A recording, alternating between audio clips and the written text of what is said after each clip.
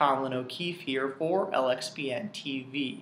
After an extensive process that goes back to a cybersecurity executive order about a year ago, the White House last week unveiled its NIST cybersecurity framework for critical infrastructure providers. To explain its biggest points, we bring in Harriet Pearson.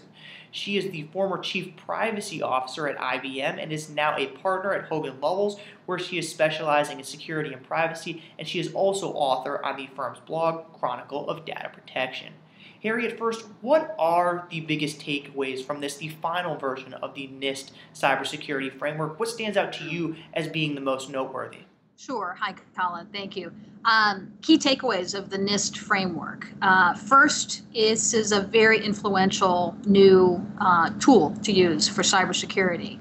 Uh, it represents a year's worth of work from not just NIST, which is a very expert technical agency, but also from thousands of business and technical experts from the private sector who together created a framework that I believe will be looked at as the standard of care uh, for cybersecurity. Uh, second is that for the first time, what we have in the framework is a common language. This is not written in technicalese. This is written in English accessible language that can be used from everybody from the board to the CEO to the general counsel to the IT department to say, are we doing what needs to be done to manage cybersecurity risk? It's not just for critical infrastructure either.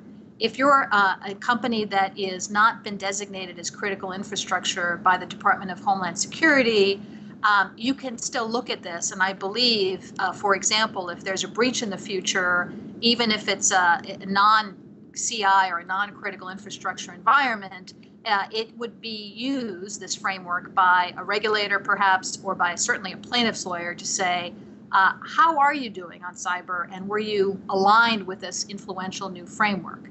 Third takeaway is expect to see a lot of outreach promoting the use of the framework by government agencies who are going to be speaking to the companies that they regulate, whether it's energy, health, telecommunications, uh, other financial services, et cetera. A lot of outreach from them and from industry leaders as well, so that you see uh, references to the framework pop up both potentially in procurement policy if you're a government contractor or in commercial contracts if you're a vendor to one of those companies that's announcing that they're going to be using the framework.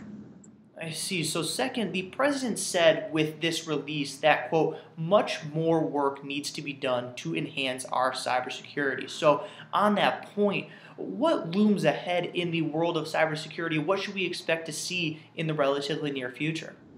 Well, this certainly is an issue of, of our era. Um, I was fortunate to be at the White House when the framework was released, and the Chief of Staff of the White House was there and led with the observation that cybersecurity is one of the last systemic threats that faces the United States. I believe we're going to continue to see pressure and attention paid to this issue and what the private sector needs to do about it.